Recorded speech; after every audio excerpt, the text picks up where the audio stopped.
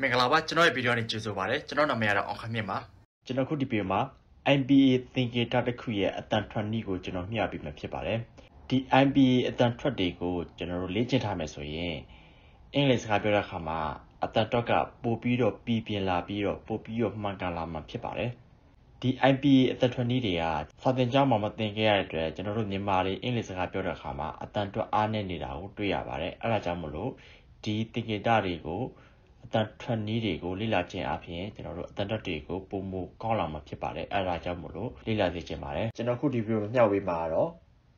အောက်ဆိုတဲ့အတန်အကြောင်းပဲဖြစ်ပါတယ်ဒီအတန်ကိုဘယ်လိုစလုံးတွေမှာတွေ့ရလဲဆိုရင် go no so ကျွန်တော်ဒီတန်တွေထဲမှာအိုးဆိုတဲ့တန်လေးပါတာကိုဒီထားပြီးတော့ကြည့်မိပါနော်ကျွန်တော်စကားပြောတဲ့ခါမှာဒီတန်တွေကိုထွက်တဲ့ခါမှာလည်းဒီစလုံးတွေကိုထွက်တဲ့ခါမှာလည်း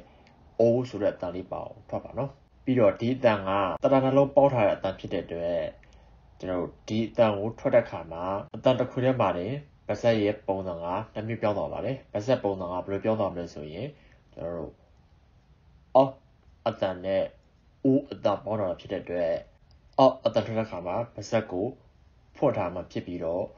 ဦးအတန်ကိုပြောင်းတော့တဲ့ခါမှာပါဆက်ကပို့ပြီးတော့တယောက်ကိုနမ်းသလို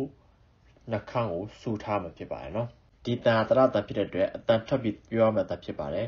ကိုယ့်ရဲ့လက်နဲ့လက်ပြီးကိုဆန့်ကြည့်တဲ့အခါမှာလေပင်ရဲ့ဒုက္ခမှုကိုလက်ကတည်းထားမိအောင်ပြောရမှာဖြစ်ပါတယ်ကျွန်တော်တို့အတန်ကိုပါစက်ရဲ့နောက်ပိုင်းနဲ့အလဲရဲ့ကြားတွေအတန်ထွက်ရပါမယ်ကျွန်တော်လိုက်ထွက်ကြည့်ပါနော်အိုး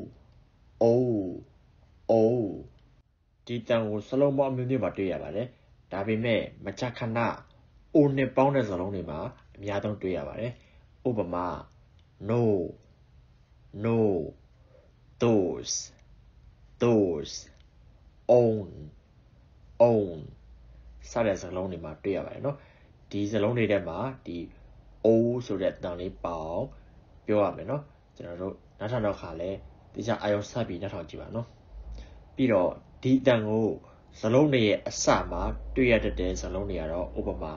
open open only only over over old old ဟုတ်ပြီနော်ပြီးတော့ဒီတန်ကိုစလုံးတွေအလဲမှာတွေ့ရတဲ့ဥပမာစလုံးတွေကတော့ most most program program hold hold home home ကျွန်တော်စတဲ့စလုံးတွေထဲမှာ ဒီ O ဆိုတဲ့အတန်လေးကစလုံးရဲ့အလယ်မှာတွေ့ရတာကိုဒီထားပြီးရောနှာထောင်ကြည့်ပါနော်ပြီးတော့ဒီအတန်ကိုစလုံးရဲ့အစုံမှာတွေ့ရတဲ့စလုံးတွေကတော့ဥပမာ also also show show ago ago follow follow ကျွန်တော်ဒီတန်လေးထဲမှာဆိုရင်တော့ဒီ O ဆိုတဲ့အတန်လေးကစလုံးရဲ့အစုံမှာ ကြားတယ်ဆိုတာကိုအာယုံစိုက်ပြီးနောက်ထောင်ကြည့်ပါပြောတဲ့ခါလဲအဲ့ဒီလိုအာယုံစိုက်ပြီးပြောပါနော်ဟုတ်ပါပြီကျွန်တော်ညှပ်ပေးခြင်းနဲ့ဒီအိုးဆိုတဲ့အတန်ရဲ့အကြောင်းကတော့ဒီလောက်ပါပဲနော်ပြီးတော့သင်္ကန်းသာတစ်ခုပြီးတိုင်းတစ်ခုပြီးတိုင်းနောက်သင်္ကန်းသာနောက်ထပ်ဗီဒီယိုတစ်ခုတက်မလာခင်ကိုကြည့်ပြီးသားဗီဒီယိုကိုကြည့်ပြီးသားအတန်ကိုပိုင်အောင်လေ့ကျင့်ပါလို့ကျွန်တော်အကြံပေးချင်ပါတယ်နော် ကျွန်တော်မျှဝေပေးချင်တာဒါတော့ပါပဲဒီဗီဒီယိုကိုအဆုံးထိကြည့်ရှုပေးတဲ့အတွက်ကျေးဇူးတင်ပါတယ်